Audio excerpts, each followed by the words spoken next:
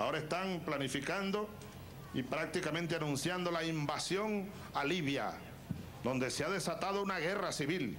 Es una guerra civil. Pero el hecho de que en Libia haya una guerra civil no le da derecho a ningún país para invadir a Libia.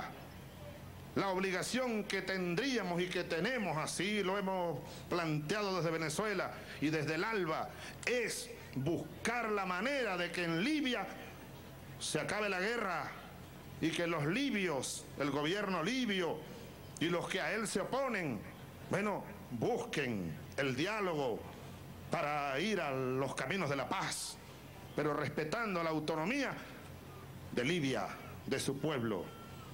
Y eso hay que denunciarlo, porque así como ayer fue Irak,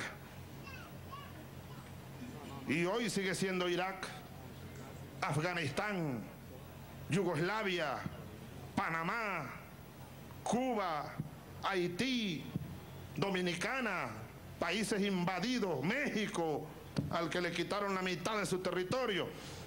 Aquí también estuvieron los barcos yanquis el 11 de abril y pretendieron tomar Venezuela.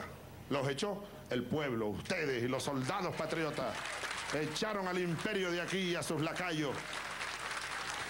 Pero esa amenaza sigue latente, porque el imperio yanqui lo que anda buscando son recursos naturales, petróleo, y aquí en Venezuela hay 10 veces más petróleo que en Irak, 10 veces más petróleo que en Libia. Aquí está la reserva más grande de petróleo de este planeta. Y ese petróleo es tuyo. Ese petróleo es de esa niña que está dormida. Ese petróleo no es de Chávez, ese petróleo es del pueblo venezolano para llevar adelante el desarrollo del país. No es de la burguesía, ni mucho menos del imperialismo yanqui.